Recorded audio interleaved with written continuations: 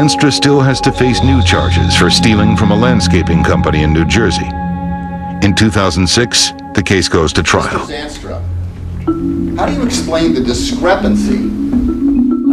All I know is that I didn't take anything that wasn't mine. Accounts were coming in. uh, Every day during the trial, Zandstra has lunch with his attorney.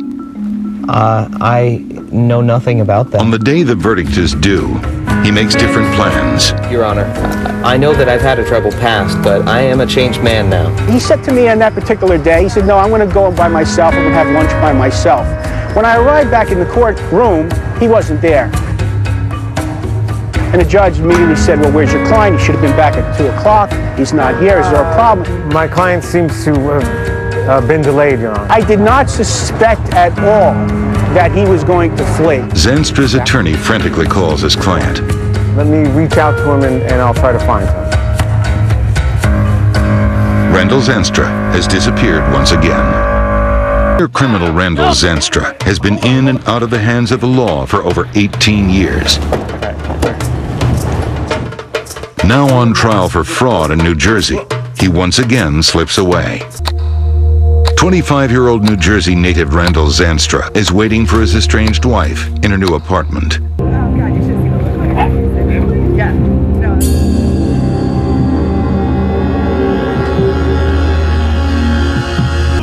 What are you doing with my wife? Why are you doing this? Son of a bitch! Zandstra married Linda Johnson four years earlier. She just filed for divorce. The boyfriend flees the apartment. Get over here!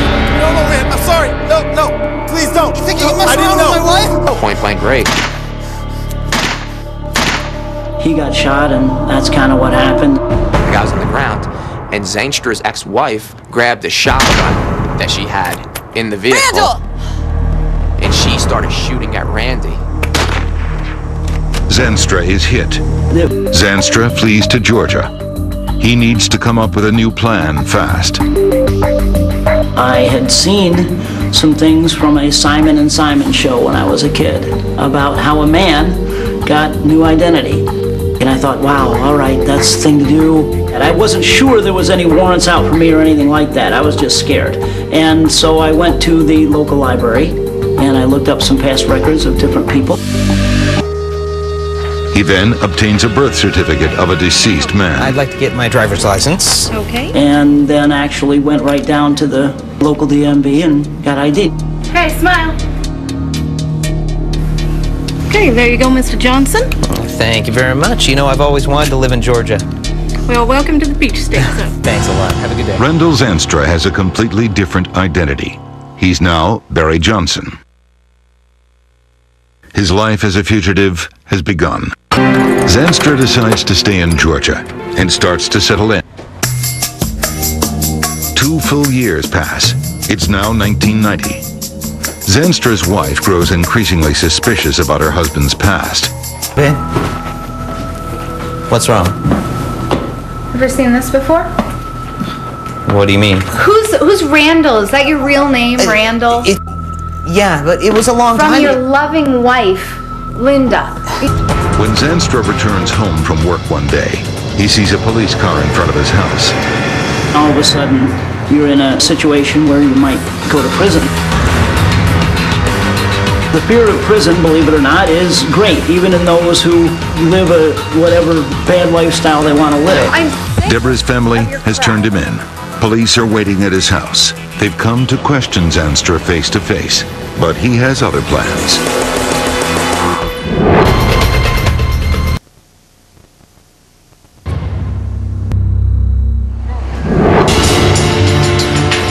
March 1990, just outside of Atlanta, Georgia. Wanted for attempted murder, Randall Zandstra has been on the run from the law for over two years. He returns home one day to find police waiting at his door. I came toward my home and saw police cars. I'm always worried about police cars all the time. Zandstra pulls his hat down low and drives right by the policeman. He immediately heads out of town and leaves his life in Atlanta behind him. That's it. I ended up leaving that car, getting on a bus, and uh, going to Las Vegas.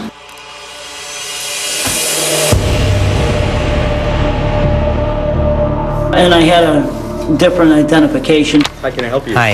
Uh, I'd like to get my driver's license. Need you to step over here for a picture. Sure. Once again, Zandstra pays a visit to the local DMV. He's now Sean Jacobs. Getting in? In his spare time, he turns to gambling, using his skill as a poker player to make extra cash. I'm extremely good at gambling, not not bad, believe it or not. Poker is a way that I had made a living for some time. In the 90s, I was as good as many of the strong professionals you see now. He hones his skills in underground games and starts making friends. He also starts earning more and more money. Well, you read the books and you study like everyone, but I've always been good at games. I was a chess master when I was young and thought perhaps I'd become a professional. To make big money, Zandstra adds a new element to his game cheating.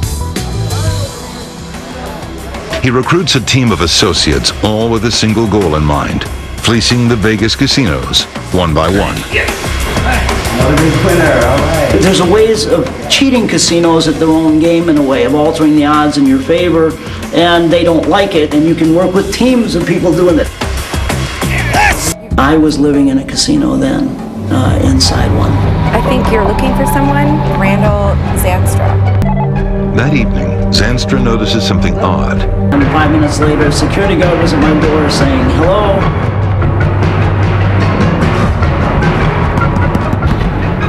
Yeah. Get down! Get on the ground! Down! No! After more than six years on the run, Randall Zandstra is finally in custody. I'd like to get my driver's license. Okay, let's phone him. Zandstra immediately runs to his home state of New Jersey and once again assumes another identity. He is now Peter Dowd. There you go, And once again, he meets a woman. So pretty. This is the best place to go and look around. Zandstra marries for the third time, but in a matter of months, the relationship starts to sour. Zandstra and his New Jersey wife are staying in a casino in Atlantic City. They are still having issues. One night, she calls the cops.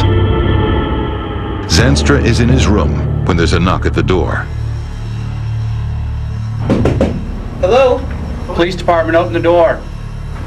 Uh, I'm sorry, I can't do that, officer. Sir, I need you to open the door. No, I'm sorry, I, I can't. I, my lawyer informed me not The police are just inches away.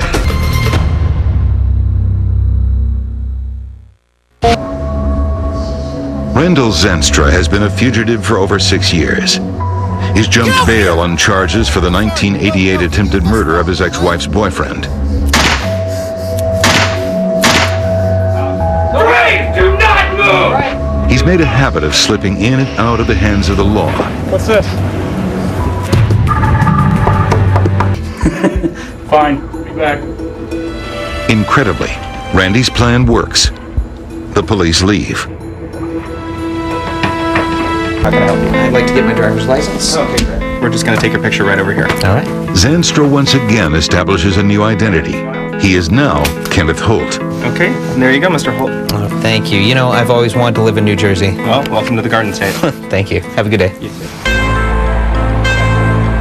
He continues doing what he does best landscaping jobs and gambling. Let it, let it ride again. Okay. In 1996, he flies back to Vegas to try his luck at gambling's ultimate prize, the World Series of Poker. I competed in a tournament when I was playing in Vegas, and some people saw that I was quite good. A man with a lot of money said, I think you're probably a potentially great player. I'll put you in, and I want a percentage of what you win if you win. Zandstra brazenly plays the tournament under his real name. The wanted fugitive advances to the final round. I'm good at any type of board or tabletop games, and in particular poker, you have to be good at reading people. When it's all said and done, Zandstra takes ninth place and over $15,000 in cash. Zandstra is in the New York area once again, working in landscaping. Then, he moves on to a different scam. Zandstra and some associates rent out a rundown building on 38th Street and set up a business called High Market Vending. Parks for Money Now, how are you doing today? Time to tell you how much money you can make in just a few weeks? It was all a scam. Zandstra and his team swindle senior citizens across the country, netting $276,000. Hello, Money Now. This is Randy Parks. This is Crystal Vending.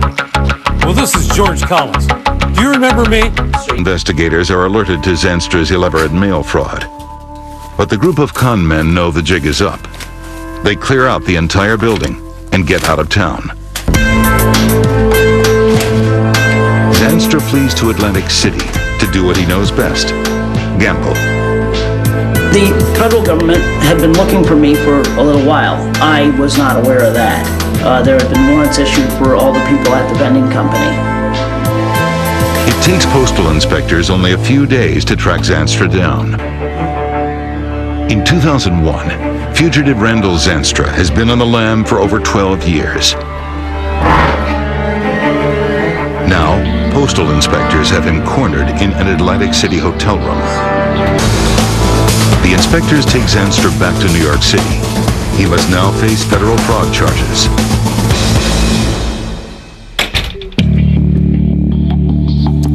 Zandstra, the court has found you guilty as charged. I'm setting bail at $6,000. I want you to return to this court for sentencing on the 20th of April. At the uh, federal trial, I was found guilty and then allowed to stay out until sentencing. Do you understand me? Yes, Your Honor. I do believe it's time for me to pay my debt to society. Zandstra takes advantage of his luck and disappears again. The marshals don't know that some of what they're hearing is true.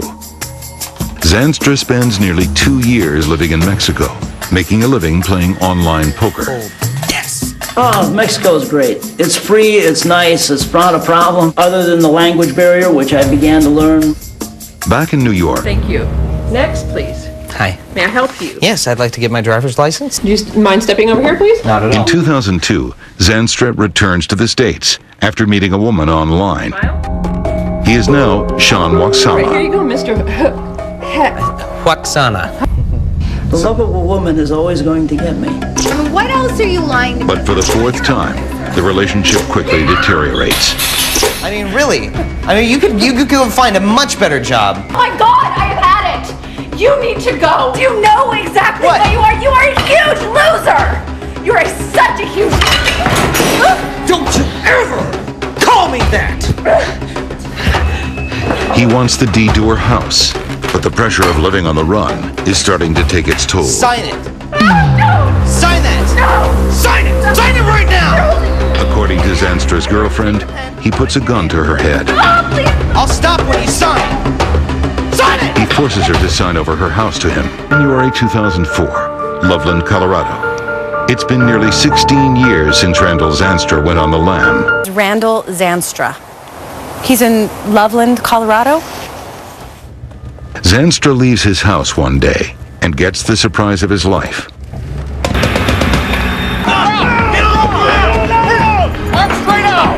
Turn around! Don't do this! Da, da, da, da. Yes, sir. I didn't say anything. Thought I was going to get killed or something. Finally, Zandstra is locked up. He does seven months for the mail fraud conviction. The attempted murder conviction in Texas is reversed on appeal. With his varied and often glamorous criminal history, Zandstra's story becomes a media sensation. Dawn, April 19th, 2007. The U.S. Marshals Service has surrounded the house of Randall Zandstra. They wait for their fugitive to emerge. After nearly 20 years of theft and violence, Randall Zandstra finally faces justice.